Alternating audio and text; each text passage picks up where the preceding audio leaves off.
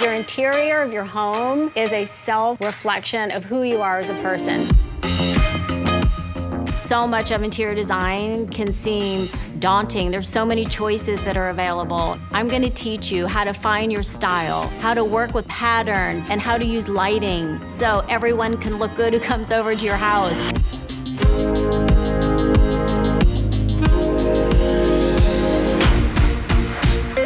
Into your closet, take a few of the articles of clothing and drape them across your living room and see like, oh my God, I love that color. So what you look good in, you're gonna feel good in.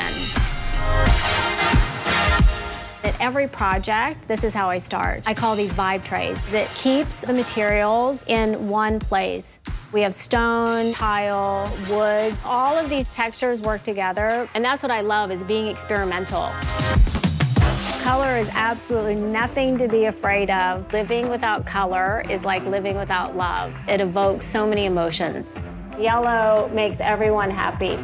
There are many things you can do to make a small space feel larger. For example, having pieces that are up on legs or a coffee table that maybe has glass. High gloss paint can really expand the space because you have reflectiveness and dimension. And it looks so good.